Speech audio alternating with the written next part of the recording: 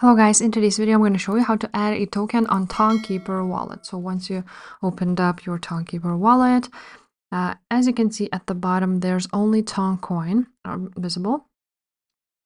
Uh, and as I don't have any other coins, I won't see it here. Now, uh, once you click on the settings and click on tokens, as you can see, there are hidden token tether. So you want to click plus sign and now it will be visible right there at the bottom. The same goes for any other token. Once you will receive it, click on receive or click on swap.